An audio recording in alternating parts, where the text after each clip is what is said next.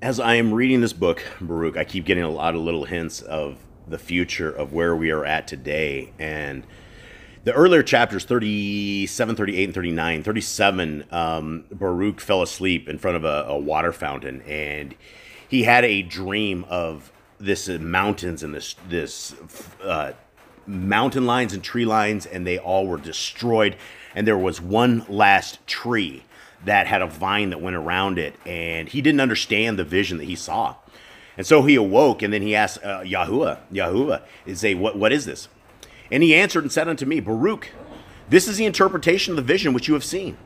And you have seen the great forest which lofty and rugged mountains surrounded. This is the word. Guys, the word of God is the Torah.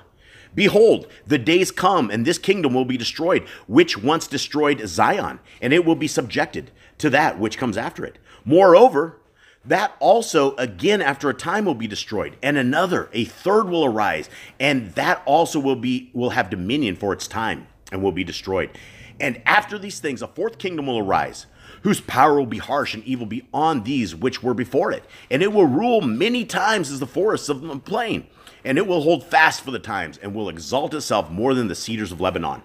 And by it the truth will be hidden, and all those who are polluted with iniquity will flee to it, as evil beasts flee and creep into the forest.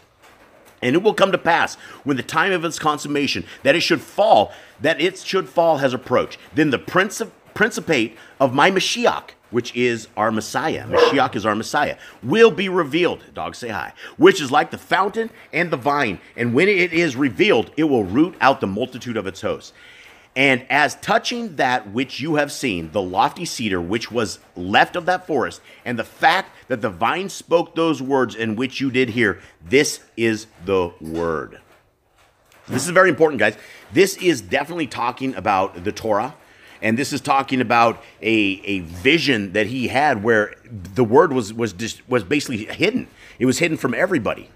And that should not come as a shocker to you because you have 30 some thousand denominations of Christianity that have forsaken the mark of Yahuwah. The mark of Yahuwah is the Sabbath day, besides you being marked with creation. Your DNA is a mark of Yahuwah. And when you corrupt your DNA, when you change your DNA, DNA, you are no longer your creators. You are a, a subset of a lab product of Hasatan.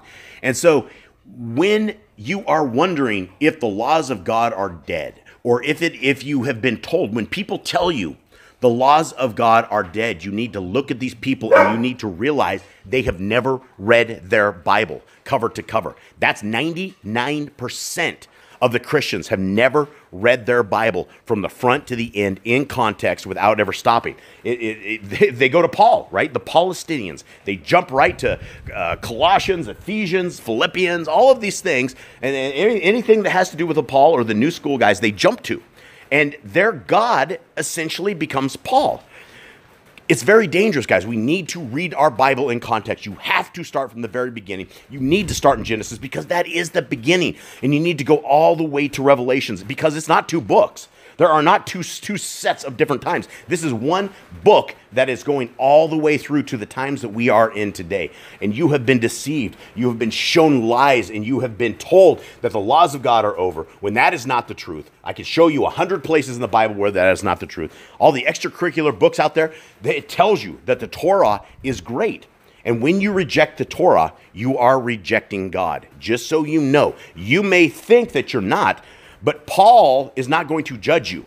On judgment day, when you're begging to see the likes of Paul, Paul's going to be shaking his head at you, shaking his finger at you, going, Man, you really screwed up. You took my words over the word of God, and you are now damned. You are now doomed. And you're not going to find mercy. There's not going to be mercy on this. All the Christians think it's mercy, mercy, mercy, mercy, mercy. They can live like hellions, completely live like hellions. Every Christian I have met down here lives like hell. Like they don't care about other people. If you love your neighbor as yourself, that is not what the Christians, especially down here, do, or anywhere in the world. Right? We've been deceived by a man made religion, and the Bible is very clear most do not make it. If you want to make it, this is the time you must pick up your Bible. This is a time you must seek the Word of God because mm, what I say doesn't matter. Nothing that I say matters. The only thing that matters is what the Word of God says. And I am simply parroting what the Word of God says so that you will go and seek the Word of God because our time is short. Our time is extremely short. This generation isn't going to make it to the next generation if you guys haven't noticed. There's some things going on in this world right now that are very sketchy at best. We don't have another generation, and that next generation isn't going to be human beings. Whatever comes out after this are not human beings. So this is the last generation of humans at the last time of our time alive. So choose wisely. Choose to stay who you will serve.